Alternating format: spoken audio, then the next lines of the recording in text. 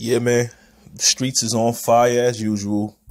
Uh, Cardi B had um put up a recent uh post uh with a picture with uh all blue on, like a blue dress or blue coat, and she said something. She she said a derogatory term or was taken as a derogatory term.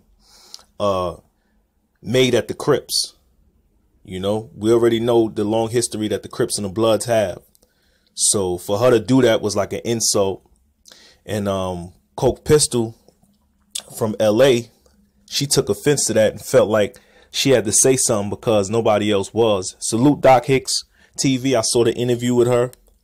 And um, I, I listened to the audio, and you know, she kind of cleared the air on things, and you know, she spoke about what she felt, and she felt disrespected.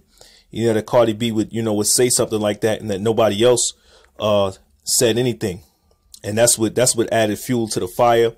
Uh, long story short, uh, she had spoke to uh, some of her peoples that knew Cardi B's homies, and Cardi B had took it down. But she felt like she had to say something because she felt like her being a crip was being disrespected. It's just like if if somebody was wearing blue and and, and, they said something um derogatory or wearing red and said something derogatory about the bloods. You know, some bloods might take offense to that.